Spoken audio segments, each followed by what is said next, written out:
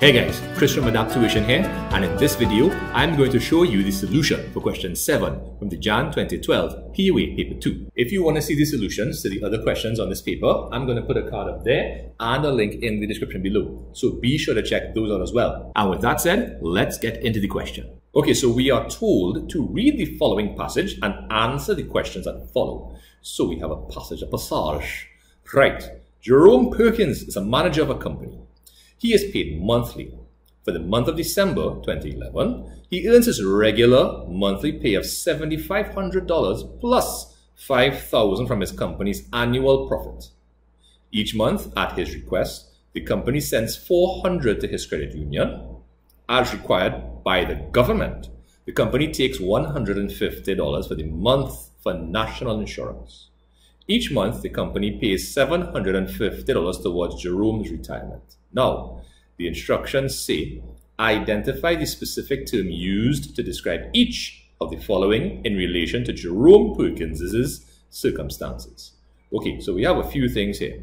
So it says monthly pay, additional earnings paid out of company profits, contribution to the credit union requested by employee, contribution to national insurance required by the government, and regular amounts paid to employees when they have retired. Okay, so let's pull up my little solution set across here. So for the first item, monthly pay, that's simply salary, monthly earnings or monthly salary. Then additional earnings paid out of company profits, that's a bonus or profit share.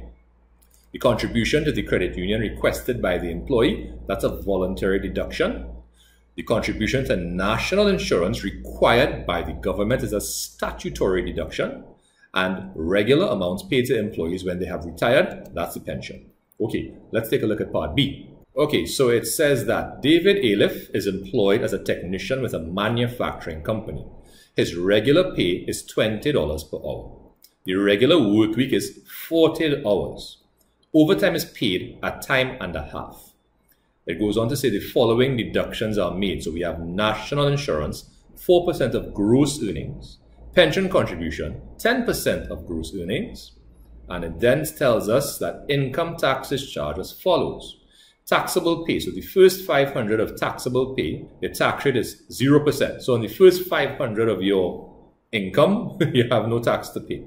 Then over 500, you have 25%. So on the remainder above the 500 of taxable pay, you pay 25%. Now, of course, this will all make a bit more sense when I show you exactly what I'm talking about. Now, it says that David worked 55 hours in a particular week. On the payslip provided as an insert, calculate David's net earnings for the week. Show your working 15 marks.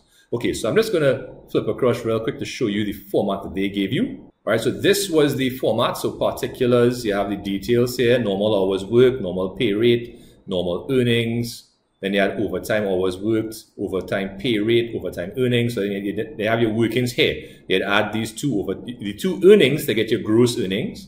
Then you have your deductions. And you have total deductions by adding up those two items and taxable earnings. Now they give you some room here because they have some calculations to do here. And you have income tax, which is charged at 25% on taxable earnings. And then you have your net earnings, which is your gross pay minus the deductions and your tax. Okay, now let's go back to the information in question and let's start populating the, well, this stuff here so we can see the solution. Okay, so in the information, they tell us that David worked 55 hours in a particular week. But the top here, they tell us that the regular work week is, 20, is 40 hours and the regular pay is $20 per hour. So we're going to start off with the regular pay, right? So the normal hours worked or regular hours worked is 40 hours because he worked 55, out of which 40 is normal or regular, and the regular pay or normal period is $20 per hour. So you're simply going to multiply those two figures to get $800, and that's his normal earnings. Now, the overtime, remember, like I said, he worked 55 hours in the week, 40 of which were regular or normal hours. The remainder, or excess, if you want to call it that, of the hours worked above 40 that's the overtime, the extra he worked above 40 hours per week. So he worked 55 hours. So when you subtract 40 from 55, you get 15 hours overtime. Now your overtime pay, so it does tell us in the question here that overtime is paid at time and a half. What does that mean? Time and a half means one and a half times your regular pay rate of $20 per hour. So we're going to take 20 and multiply by 1.5 1.5 being time and a half, that gives us $30 per hour, which is the overtime pay rate. 15 by 30 will give us 450 and when we add the two earnings figures we get the gross earnings. Now we have the deductions. Now we have two sets of deductions. We have national insurance which is 4% of gross earnings and pension contribution which is 10% of gross earnings. So we are just going to put those in right? $50 there pension is 125 okay cool. So 4% of gross. So 4% of 1250 was the 50 and 10% of the 1250 was the 125. Adding those two together gives us 175. Now, we have to find taxable earnings. So you're seeing 575. How do we get that? We took the earnings of 1250, the gross earnings 1250. We subtracted the deductions of 175 and we also subtracted the 500. Now, where did that 500 come from? So if you remember, they gave us a bit of an income tax scheme. So the first 500 of your pay, right, is taxed at 0%. And the remainder of the income is taxed at 25%. So what we're going to do from there now is simply find 25% of the taxable earnings. That's going to give us 143.75.